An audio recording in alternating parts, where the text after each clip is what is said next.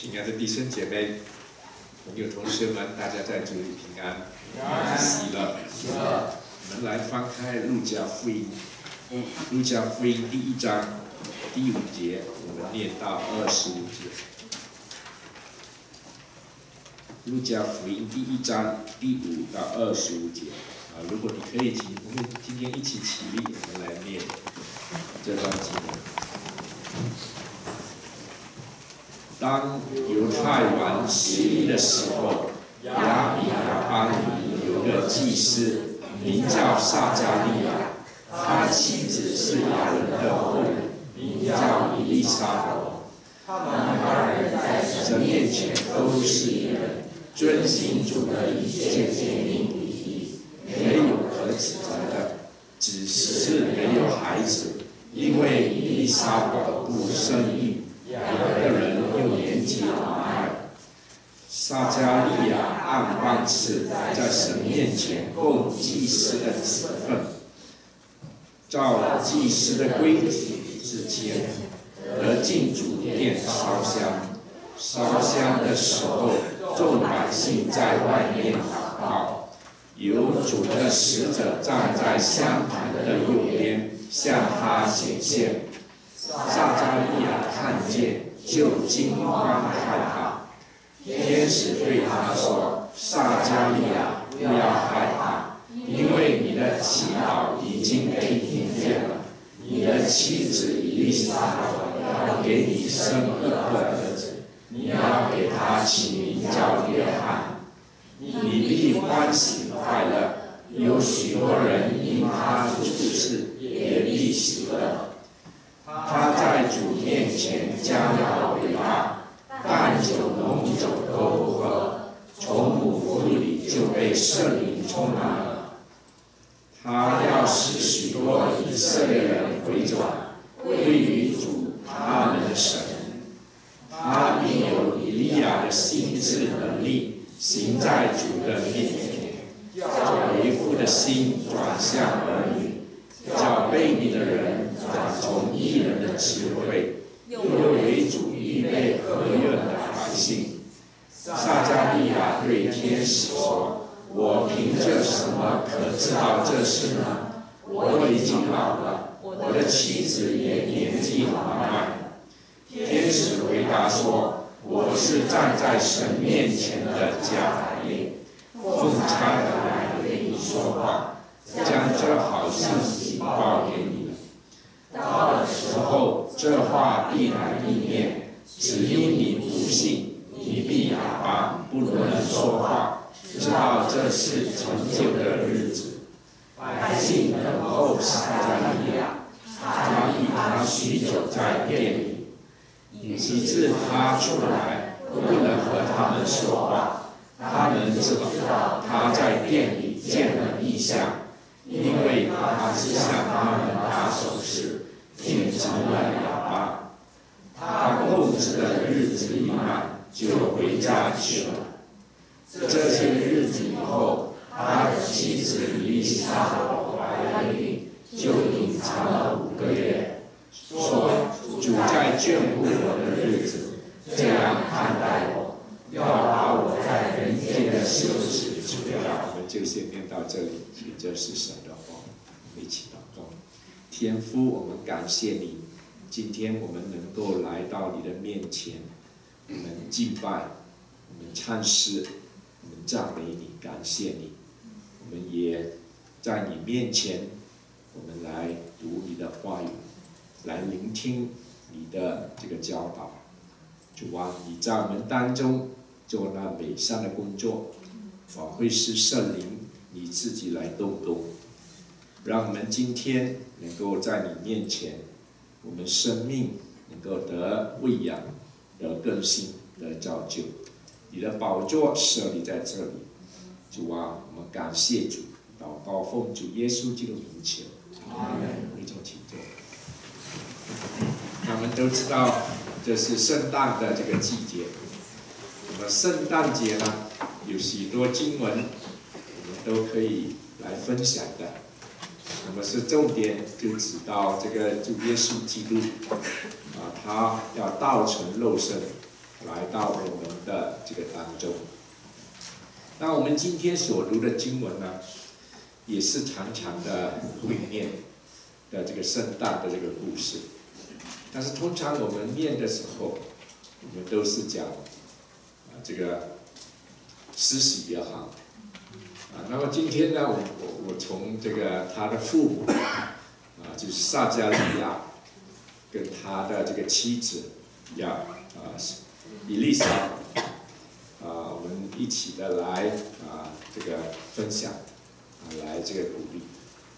那么圣经说呢啊讲的这个。非常的，我们说奇妙。他说，当在这个犹太王希律的时候，亚比巴里有个祭司，名叫这个撒加利亚。撒加利亚是非常出名的一个先啊，这个祭司。那么他的妻妻子呢，是亚伦的后人，名叫这个伊利沙伯啊，伊丽莎伯。那么他们第六节特别讲到说，他们两个人呢，在神面前都是义人，啊，这个是很不简单。圣经记载说，他们两个人呢，啊，在神的这个面前都是异人，哈，是不是？那么按照犹太人的这个说法。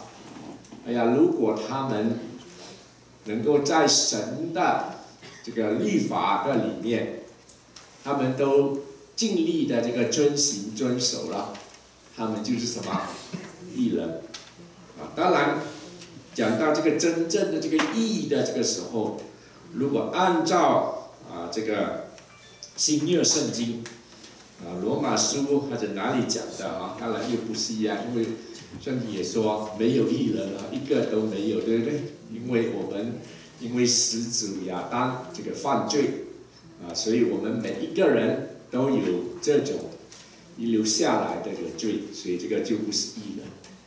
但是讲到这个撒加利亚跟这个他的妻子啊以利沙，他们都在神面前，就是说他们所行的。他们尽力的遵行了神所托付给他们的，他们所知道的神的这个话语的这个教导，他们就怎么样？他们都这个遵守了，所以在人面前实在是无可指责。但是呢，他们也在神面前蒙神的这个悦纳啊，蒙神的这个悦纳。啊，圣经还特别说什么呢？遵行主的什么？一切的这个诫命礼仪没有可指责的啊，遵行。所以重点讲到这个遵行。所以刚才我们读这个奇印文的这个时候，我想重点也是讲到什么遵行主的这个话啊。所以我们今天我们许多人都说我们是神的这个儿女啊，我们已经有永生。我们已经重生得救，耶稣基督是我们的这个救主，啊，但是我们是否有没有遵行神的这个话呢？我们是否有没有遵行神的这个诫命呢？那我先讲一个故事啊，那么这个故事是英文的，我看的时候是英文的，那我尽量的来啊，看能够把它解释的好了。那么这个故事讲到一个女孩子，她有四个男朋友，哎呀，听了很恶心。但 但是你们听下去啊，先不要想入非非哈，先先听一下啊。啊，这个他说有四个这个男朋友，那么他非常喜爱第四个男朋友，哎呀，对他呢非常的这个敬仰。那么也给这个男朋友有许多的这个好处，啊，就是有好的啊这个衣服啊，rich robes 啊，还有啊常常对待他呢啊很好的这个食物美食哈，啊英文说 she get him nothing but the best，他就是把质量最好的都给他了。那么呢，他也喜欢第三个男朋友，啊，然后呢，都觉得她的男朋友是她的这个骄傲，所以常常呢，show off 她的这个男朋友给许多的这个邻居们。那么她真的怕一天，啊，她离开他而去哈，她很怕这个第三个男朋友会离开她。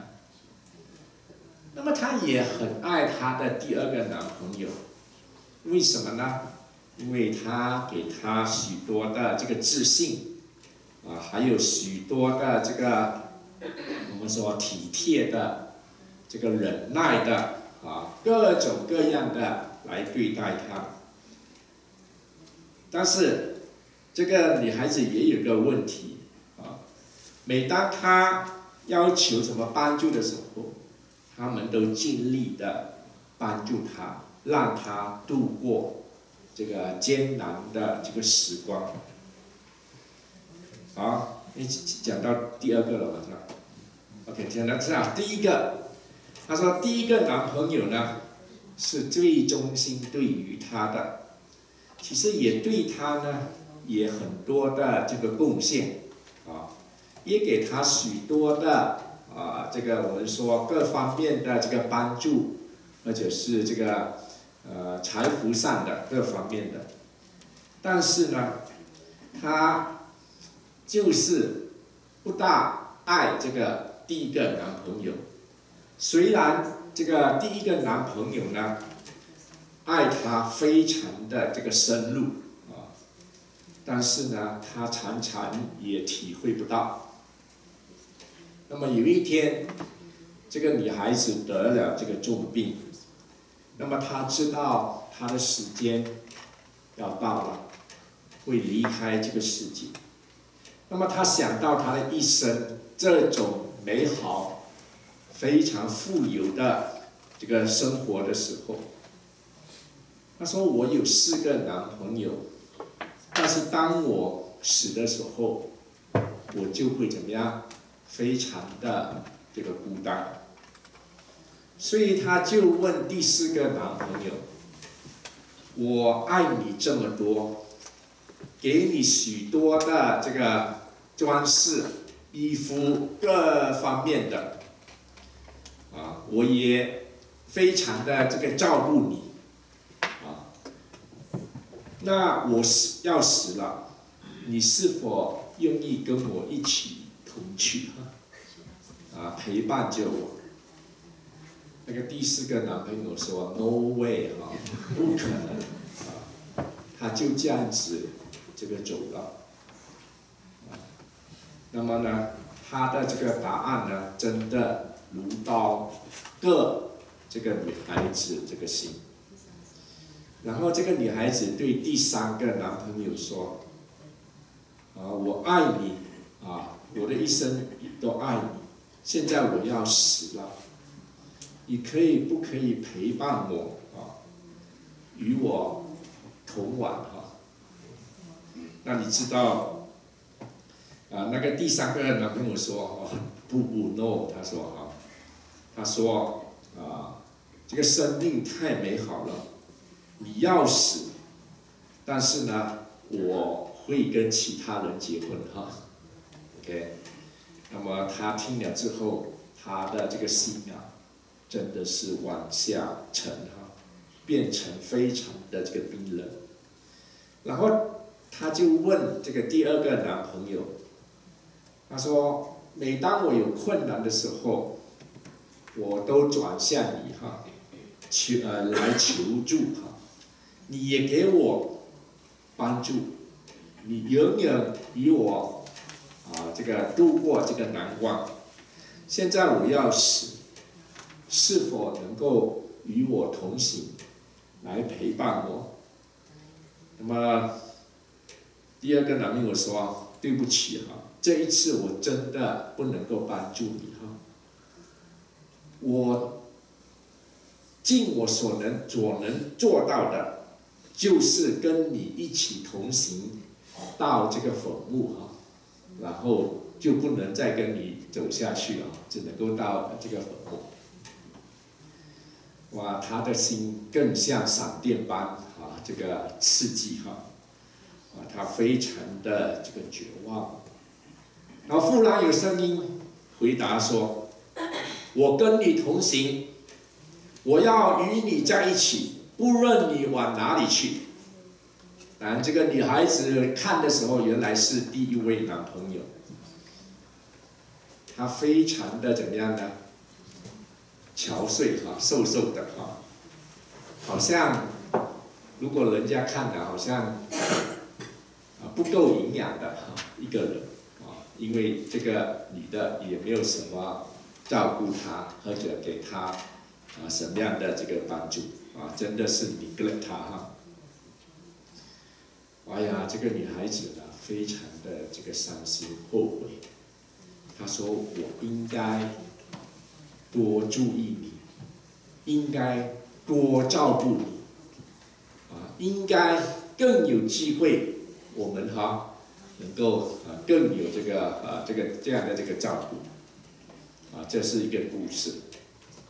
但是这个写故事的人，他说：“In truth，那么在真理里面，我们每一个人都有四个男朋友。”啊他说：“我们都有四个男朋友，你第四个男朋友就是你的身体，啊，你这个肉体，啊，不管你怎么样子，你不管怎么你爱他，哈，对不对？刚过 Black Friday，你买了多少衣服为这个肉第四个男朋友？啊，你有没有买这个手表啊？”各方面的哈耳环啊，给你的这个四个第四个男朋友很多，给他许多好好的东西，你也给他吃的这个饱饱的，但是当你死的时候，他不会跟你同行，他会跟你同行。那么第三个男朋友是你拥有的这个财物。就像你的家、你的车子啊，啊，你各方面的你的钻石啊，你各方面的你的财富、你的地位啊，你的一切，所以你常就像刚这刚才那个女的，她常常以这个男朋友为夸耀，向她的邻居们夸耀她这个所有的，这个是你的这个财富。当你死的时候，他说我要跟其他人结婚。是的，当你死的时候，这一切东西都是谁的？别人的。那第二个男朋友是你的家人，是你的朋友。在世的时候，你遇到许多的这个家好朋友、家人，他们都愿意帮助你度过种种的这个难关。但是，当你离开这个世界的时候，他们能够做到的，只是陪你走到这个坟墓前，不能够再跟你走下去了。那么第一个男朋友，他这里说 “is your spirit”，就是你的灵魂。许多时候，我们忽略我们的这个灵性。我们的这个灵魂，我们在世都追求对我们肉体的、我们的地位、我们的物质的这个东西，我们的忽略了我们自己的这个灵魂的需要，我们灵性的这个长进。但是你知道，当你离开这个世界的时候，只有灵魂。跟着你同的同去，那么意思就是说，你所做的，你所行的，这个有永恒价值的，才能够怎么样跟你人性。所以今天当我们讲听这个故事的时候，其实跟这里我刚才说重点是遵行，遵守。啊，所以我们许多时候我们忽略我们灵魂的这个需要，为什么呢？因为我们在世上啊，无论都是把那一些不能带去的，能够随着到这个天堂的，那么我们去忽略。所以许多时候我们可能外表很好啊，但是我们的这个灵性啊，可能是啊不够营养的，瘦瘦的啊，可能是这个脆弱的。哎呀，可能是啊，这个我们说，我们许多时候都忽略了。所以今天我们说，我们能够有丰盛的啊这个生命啊，这个啊灵性的，哎呀，我们说要在主的这个里面，我们要追求啊，我们说属灵生命的这个长进。那么追求属灵生命长进，啊，最基本的就是。像今天这里说的啊，啊，他们两个人在神面前都是一人，遵行啊，遵行，遵行，遵行主的一切节命跟礼仪，所以遵行，这个是重，这个是 key words 啊，这个是重要的这个遵行。我们听，我们读，啊，但是我们必须要遵行。啊。圣经一直强调的，一直强调说我们必须遵行主的这个教训，主的诫命，主的话啊，啊，因为主说，如果你听有了这个我的这个诫命，啊，在约翰约翰福音第十四章十五节说啊，啊，有了我的这个诫命，啊，你去这个遵守的，就是什么？表示什么？表示你是爱我的，爱我的，啊，所以这个遵行是，啊，就必遵守我的这个命令哈。所以我们说，当我们去遵行的时候，我们去行的这个时候，那我们的这个属灵生命就会怎么样呢？就会长进啊，啊，就会长进。所以，为什么说我们啊？有的人信主了，你信主之后，你属灵生命能够啊很快能够进步的是什么？啊，当然我们是读经、祷告、领受这个没有错，啊，一定的。但是呢，你必须要侍奉，你必须要遵照他的话去做。啊，如果你学习去分享你的这个重生得救的见证。或者你去分享这个福音的话，那么你的这个长进就很怎么样？很明显哈。啊，如果一个都不动的，啊，那么就很难这个长进。啊，所以关键是什么呢？关键就是要遵循啊神的啊这个啊的这个话去行。啊，我们。我们基督徒啊，有的时候有很大的这个毛病啊，觉得对我们现今有益处的，我们就遵循，对不对？那有一些我们还会啊，选择性的啊，要不要去遵循啊？啊，所以这个是啊，这个是不对的哈。主的话就是主的话，主的命令就是主的命令，主的诫命就是主的诫命哈。我们啊听到，我们读到，那我们就要怎么样？我们就要去遵循它。当然，圣经啊这个也告诉我们许多的这个例子啊，啊有一些遵循的不够，呃这个测读的时候，哎呀，他们啊就有许多的这个啊亏欠。或者是这个软弱哈，有许多的例子啊，像亚伯拉罕啊，神本来要叫他啊离开到迦南去，啊，但是他后来到什么？乌尔啊啊啊，在哪里啊？就停了，啊，还有这个雅各啊这些等等，啊都是哈，神本来吩咐这个雅各去波特利，啊，但是他就跑到这个世界，啊，他起初有没有想遵行有，但是，个遵循的不够彻彻透啊，啊，所以不够彻底，啊，所以就啊这个软弱了哈，对对？呀，许多时候我们也是啊，我们很想遵循神的这个旨意，但是许多时候我们就像他们。啊，不够的这个啊彻透，啊，没有这个舍己，啊，有的有没有舍？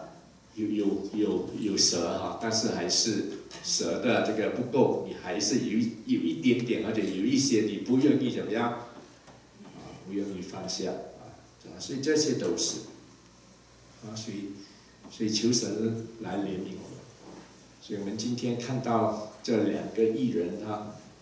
圣经说，他们都是艺人，他们遵行啊，遵行，记住啊，记得遵行神的这个诫命哈的礼仪哈，没有礼仪哈，什么是礼仪啊？就是神吩咐透过这些礼仪来帮助我们怎样，也在属灵生命上的这个长进啊。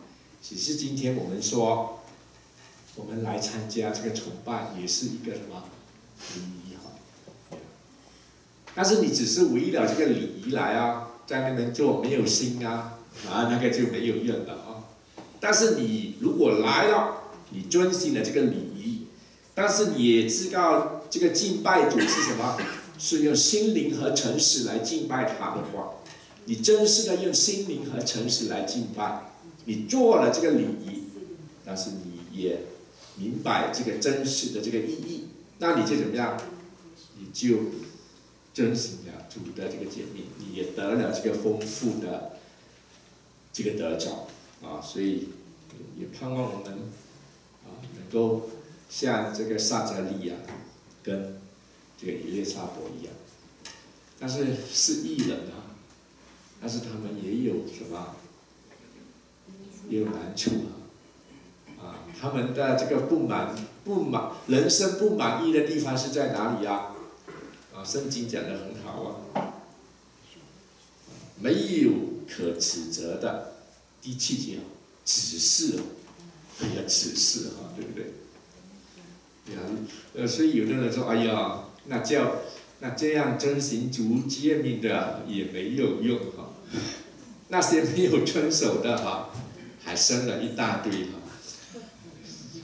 那这个撒加利亚跟伊丽莎伯他们这么爱主啊，但是他们没有这个孩子啊，看起来真的是真的不足哈。所以有的人就说：“哎呀，信主也没用啊，对不对？你传福音的时候，有有有的人也会这样告诉你啊。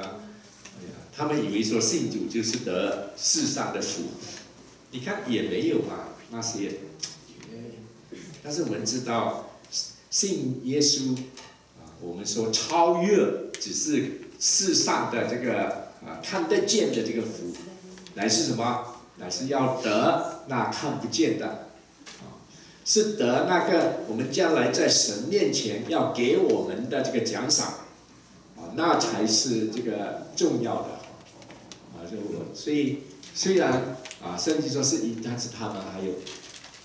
今天你不生孩子没关系哈，对吧？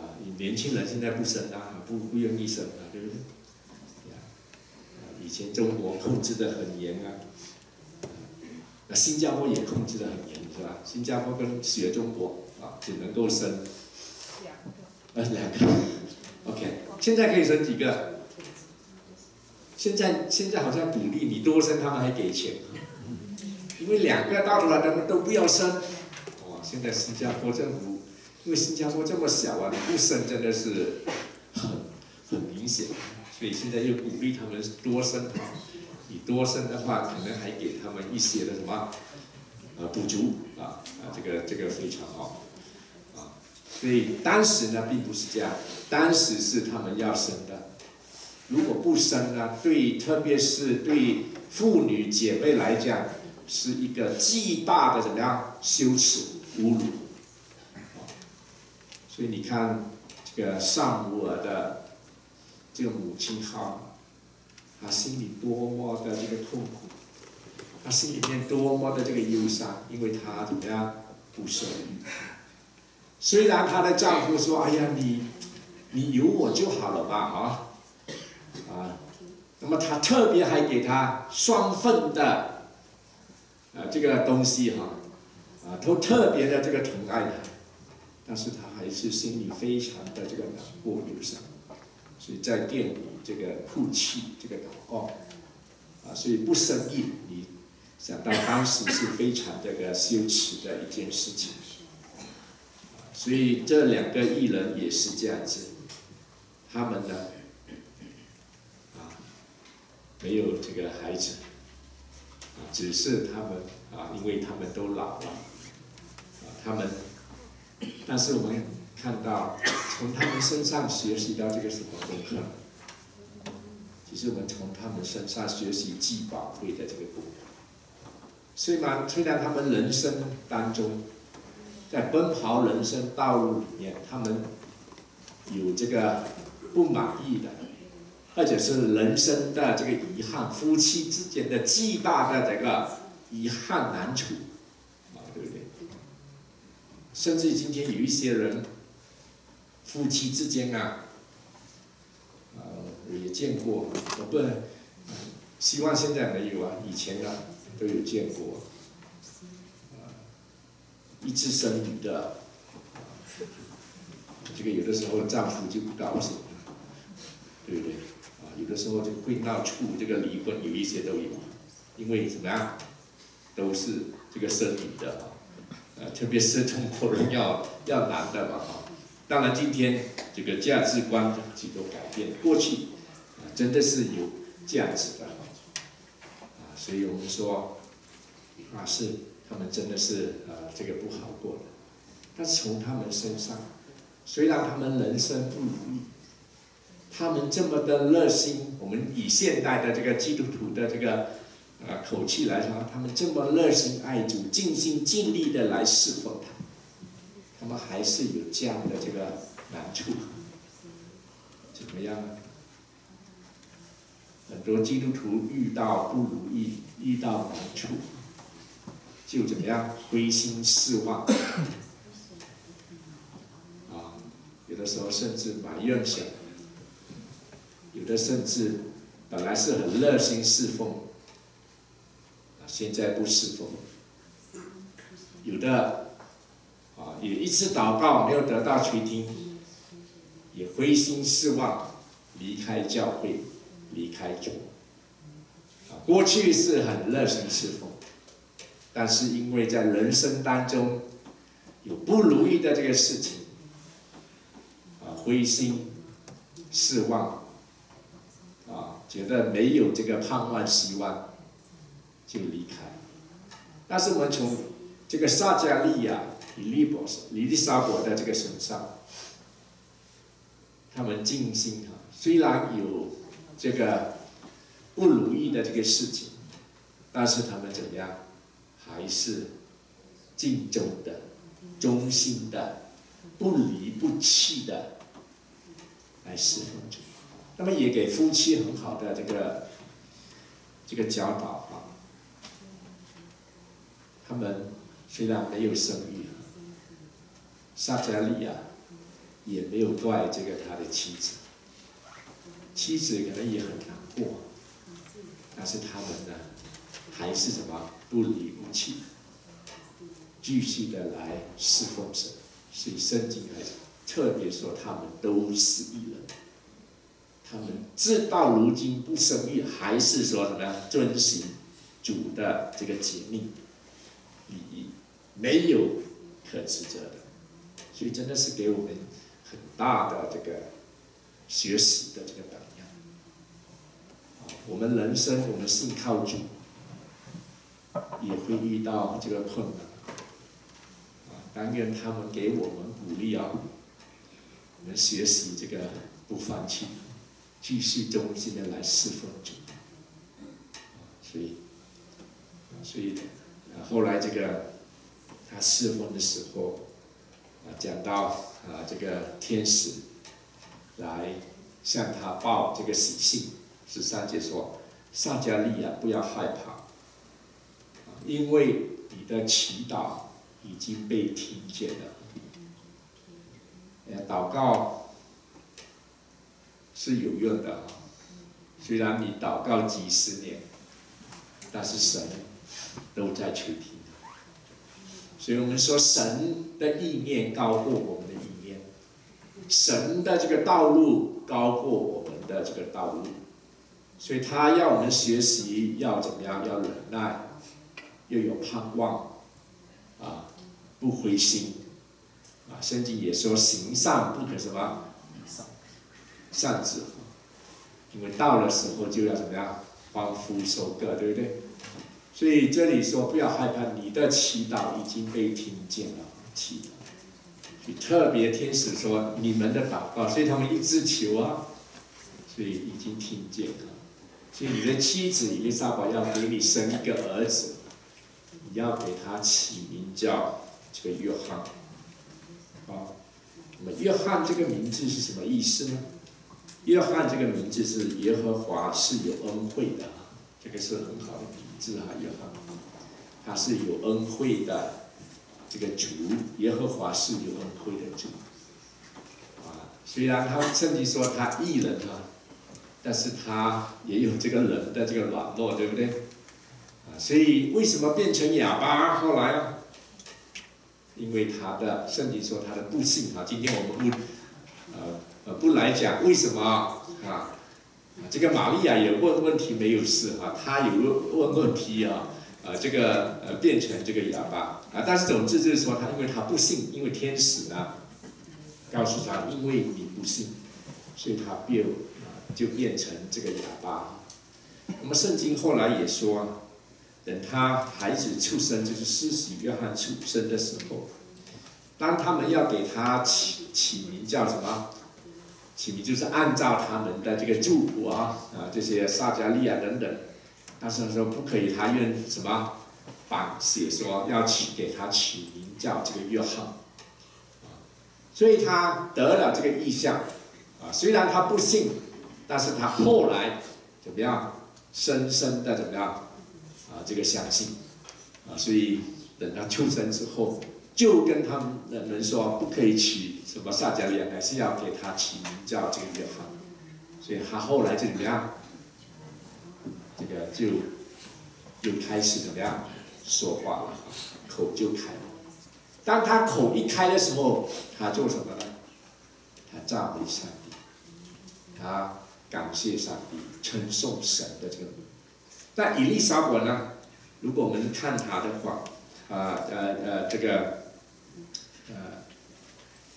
呃这个我们二十五节哈，啊，看他们回家二十四节，当他们回家之后，啊他的妻子以利沙伯就怀了孕，就隐藏了五个月，隐藏啊，啊这个隐藏也是很有意思的哈。如果这么久啊。都没有生育啊！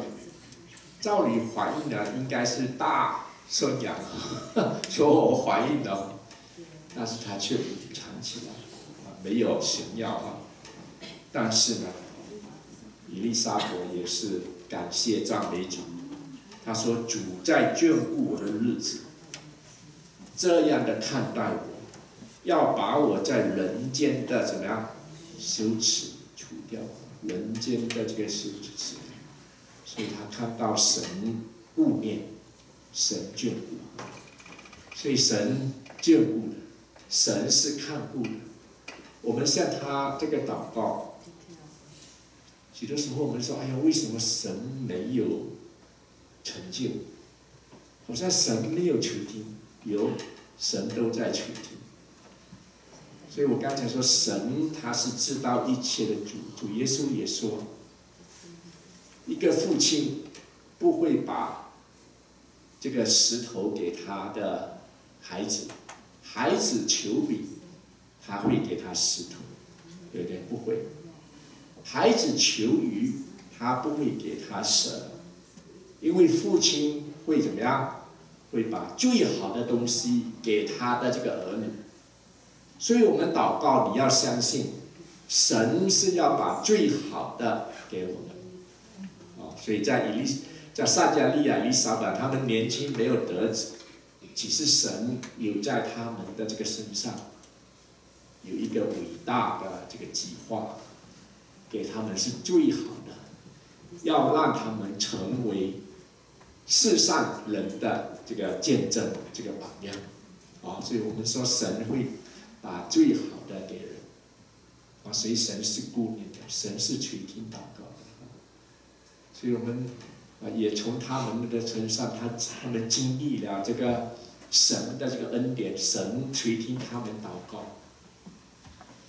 撒加利亚从这个不幸啊变成哑巴之后，口又开了，他们都是怎么样？他们都是承受神，感谢神。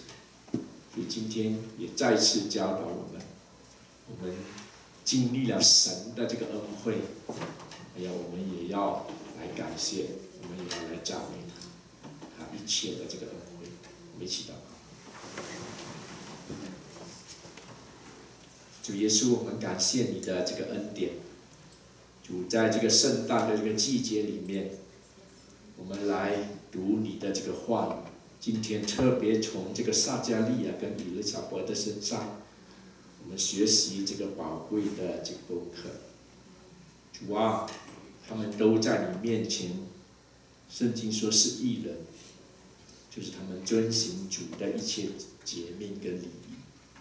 主，你今天也来教导我们，让我们也能够来遵行主的这个话，主的教导。